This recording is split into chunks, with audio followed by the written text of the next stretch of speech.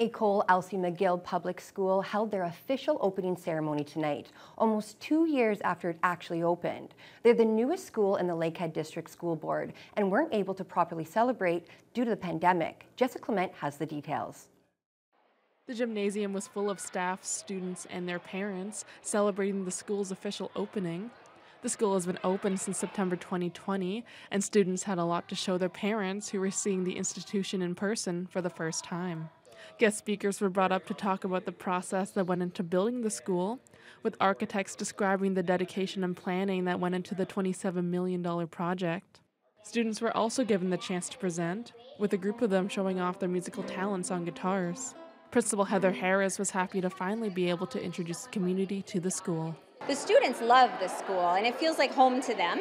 Um, and it's got to be a bit weird as a parent to send your child off to school for two years to a place you've never been. So we're really happy that we were able to welcome parents and guardians into the school and uh, just make our school community that much richer.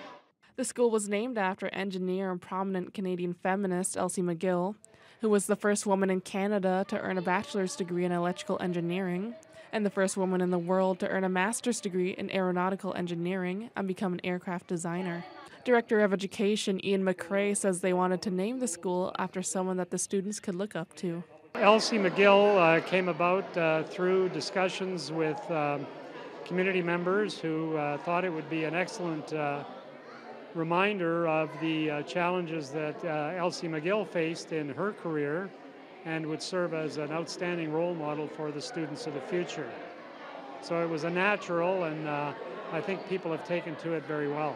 Parents were able to explore the school after the celebration, and students couldn't wait to show off their favorite classes and projects they were working on. We spoke to some of those students about their favorite parts of the school. I really like the architecture, and um, I like the music room, and um, I don't know. I just I like how I like the design of the school. That we get to do fun art and we get to play in the gym.